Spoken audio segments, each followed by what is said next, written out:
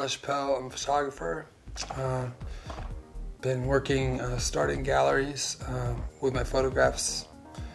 Um, when I was 17, first job was uh, with uh, Andy Warhol's interview um, when Andy was alive and worked there for four years until Andy died, um, and then started working more for magazines than galleries and did that um, music videos, um, feature film, and but stills really is my passion and gallery exhibition work, museums. I, I was bullied in school in high school, so I dropped out, moved to New York, and um, I got to I got to attend uh, my last uh, two years and kind of kick it around New York from 15 to 17. And I went to this. Luckily, luckily, I got into this art school in North Carolina based on my drawings and paintings, and there I learned photography.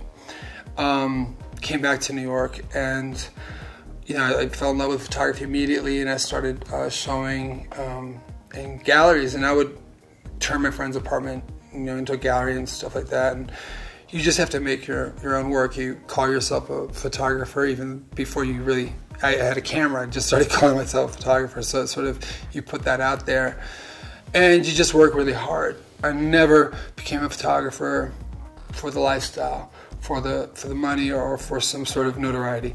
I did it because I wanted to give the world something. I had to wake up in the morning and give myself assignments. I had to set, give myself deadlines. I had to make gallery shows where none existed. I had to, had to shoot pictures when nobody wanted them.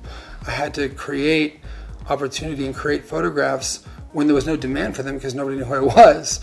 So, you know, that, that, that takes a lot of uh, self discipline and ambition. Luckily, I had nothing else to fall back on. So I either had to make it or I didn't know what, you know, my mom always said I was gonna be homeless. That always stood in the back of my head. I'm gonna be homeless. I'm gonna be homeless. So I didn't want that to happen. So it made me work really hard. Inspiration uh, isn't something like you know that you want to appropriate. You want to go steal from somebody else, or like look at the latest fashion magazine and do what they're doing. Someone's already doing that.